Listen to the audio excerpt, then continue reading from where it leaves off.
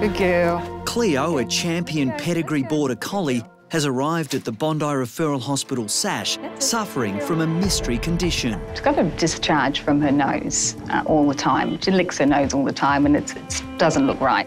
One day started doing this horrible coughing, sneezing, like felt it sounded like she was drowning in and an asthma attack all at once and it was just like came out of the blue and was like oh my goodness what's going on here all right. Hopefully it'll be a good visit today little girl?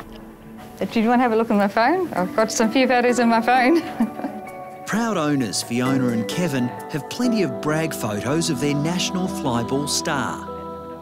Cleo lives for flyball. Uh, it's her whole world. She's obsessed with it. For her not to do flyball, um, oh, it would be really hard for her, really hard. How long has it been going on for? She's only been really bad the last last week or two. Mm. Yeah. Okay, and it's definitely getting worse. Yes. Yeah, okay. daily getting getting worse. All right. Emergency vet Lisa Chimes is now waiting for the results of blood tests taken earlier in the week. So what I'm doing now is I'll just check if she's got air flowing through that nostril. So it's a pretty simple test. And that's good. She's got airflow going through both nostrils. That's one good sign. It could be something as simple as a foreign body, like a grass seed that's in there. We can pull it out, problem solved.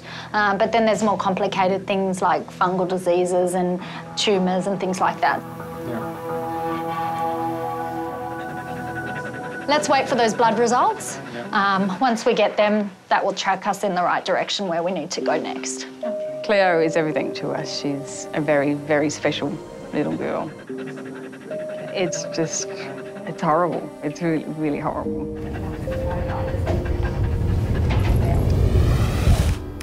The Border Collie's test results have just come in. Oh, no. Oh, I was really hoping that it wasn't going to be this.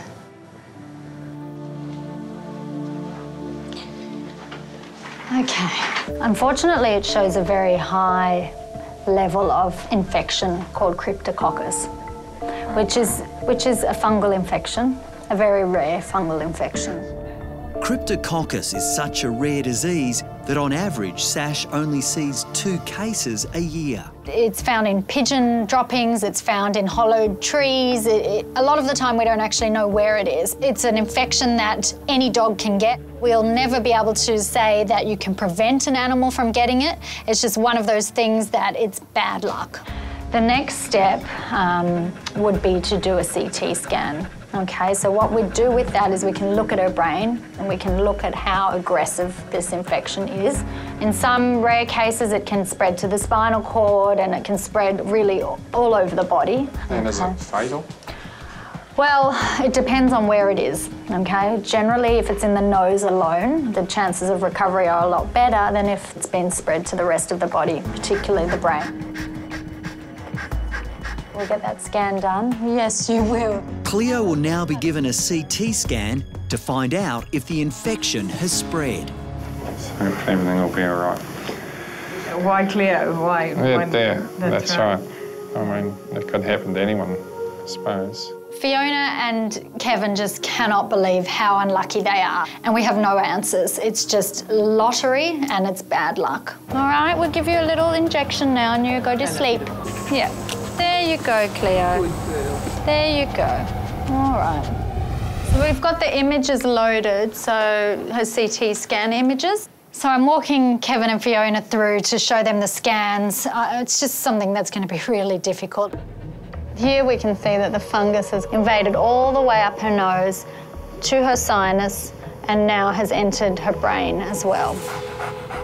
Well, knowing that it's in her brain, is there going to be any effects that that we're going well, without treatment, it will get worse, and eventually it will affect the rest of her brain and, and cause neurological problems. It's a lot of unknown. So do you think it's, it's, it's curable? And will we be able to fix this? I think we have a good chance of fixing it because we've got it early. But there is a chance that she will die from this. And, um, you know, the best thing we can do is start treatment straight away. So what we'll do is Cleo will go on medication for several months And then we're going to be monitoring her with blood tests. And it's the next blood test that's going to be really vital. It's really quite unbelievable how she can pick up such a, a, a weird thing just from sniffing the ground, like all dogs sniff the ground. really scared, really scared. I just don't want to lose her. Don't, don't want to lose her. Well, come on, let's go. Good girl. Okay, so we've got the medication.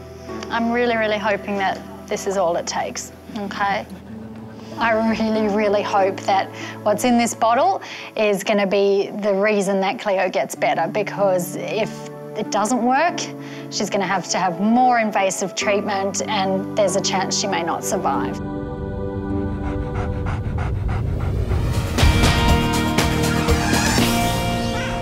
She's quite good with taking the medicine now. It's been three weeks since Cleo was diagnosed with the rare and dangerous fungal infection Cryptococcus. It started in the nose and spread to her brain. Very good at waiting now, aren't you? No, yum, your favourite time of the day. There you go, good girl. Every day, Kevin and Fiona hope this medicine is winning the war. A couple of weeks after we started giving her the medicine, she went and got a ball and dropped it at my feet. And I, I literally burst into tears because she hadn't done that for such a long time. It's just, she's doing really well. We're very happy, very hopeful. God, oh, look at that pass. That was a zero pass. And we won. That's awesome. The Border Collie is now allowed to do limited exercise, but can no longer compete in her beloved flyball. That good flyball dog. We'll get there. Hey, we'll get there. Cleo's medical bills are already more than $4,000. Our Flyball Club, we were really blown away by it. They have decided to run a um, extra competition in the year. They have said the funds that they raise from that will go towards Cleo's um, further treatment. I'm getting emotional here. Just very humbled, very grateful, slightly embarrassed about the whole thing. yes. While Kevin and Fiona's other two pets, Kaya and Selena, will be competing, Cleo will have to stay home to stop her getting overexcited. We sort of have to remind ourselves that no, she's not actually better. We, we need to find out what the blood test says and quite apprehensive about it, but Yes. really hopeful. yeah. Happy to be back here. Yeah, you are happy to be back here. Fiona and Kevin are back at SASH for Cleo's all important blood test. There we go. They're hoping several weeks of oral medication will have helped the Border Collie defeat the Cryptococcus disease. Nothing to stress about. You'll be good. Good girl. Hello, how are you? And how are you? How are you doing, pretty girl? Kevin and Fiona have been counting down the days until today. They've been treating her, following all our instructions, but today is the day we take blood from Cleo, we send it to the lab, and we hope like hell that it's a positive result. And there's no discharge or anything from the nose. Nose is clear. No, we haven't had any wheezing or Nothing. or, or that horrible breathing that she was doing for well, oh, a couple of weeks now, haven't we? For, yeah, quite a while. Yeah, yeah. Even though Cleo's looking good on the outside, the exterior of her is not really reflective of what's going on inside. First girl, Cleo. Good girl. Good girl. Cleo's fate is really in this tube. If the levels have gone down, then it's great. She can stay on the medication she's on. But if the levels are the same or higher, her battle's just begun. Were you a big brave girl? I'm sure you were. Yeah, I'm sure you were. Even though Cleo's looking so good, I know that she's got disease in her brain. I just don't want to get my hopes up.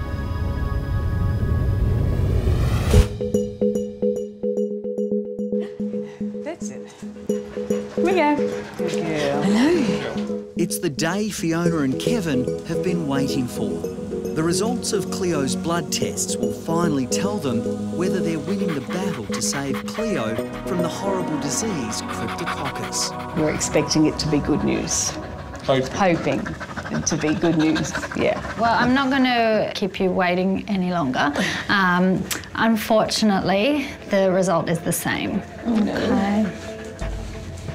That's really. Are you sure? It's Hard to take. Yeah. I'm so sorry. I really wasn't expecting that.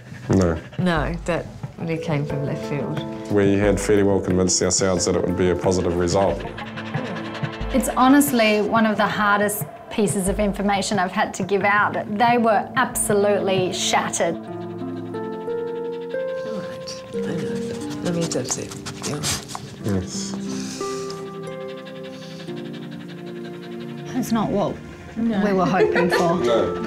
Um, but, you know, with it being so rare, we couldn't look into the future and predict what was going to happen. But I mean, to look at her, you'd say she was 100% healthy. But we know it's otherwise. We'll find a way through, we always do. Hey, little girl. So we have a couple of options now. Option one would be to increase the dose of the fluconazole that she's been on and see if we get an improvement. Yeah. Or to just cut our losses and start her on intravenous infusion. You can kind of think of it like a, a human going to get uh, chemo treatment, but the biggest risk with it is that it can be toxic to the kidneys. It's an unenviable decision for Fiona and Kevin. There are no guarantees with either treatment. Really sorry. We were really hoping that we wouldn't have to even think about having to do the next step, but it looks like now we do have to think about it. So Now, Cleo, you look after mum and dad. That's what you need to do. They've been looking after you, but I think it's your turn to look after them for the next few days. Hey, miss? We haven't lost the battle yet, okay? So we, we're not giving up, we're just. We have other options, okay? It's just unfortunate and I'm disappointed and I'm sorry. It's really difficult saying goodbye to Kevin and Fiona. They've got to go home now and have a long, hard think about what they're going to do next. I've given them all the treatment options. They know there's no guarantees, and the next step is up to them. As for Cleo, three months later, and look who's back in the flyball ring. Yay! Good girl. I didn't actually think we'd get back here. Ready, go! Come on! We're very, very happy to have her back racing, and yeah, it's all very exciting. She's just so happy. No being left behind today. No. Fiona and Kevin decided to take the option of doubling Cleo's medication. Girl. And the champion has showed an amazing improvement. We've decided not to go ahead with the next level of the treatment, the intravenous drugs, mainly because it's just such a big ask to put her through. You want me to play? It's three days a week taking her to the vets, leaving her there, and there's no guarantees that that'll change anything anyway. The medication hasn't cured Cleo of cryptococcus, but for now the disease is under control. Definitely happy with the decision. She's looking fantastic, so it's you know pretty much all we can hope for. Come on, we're going to do it all again. I'm just so happy that Cleo's back in the flyball ring, doing what she loves. I don't know what the future holds, but what really matters is that right now, Cleo is happy. And that's all that counts. Yeah, clever little girl. Hey, good girl. Thank you. If you guys loved that video, great. Make sure you subscribe to our YouTube channel below. That way.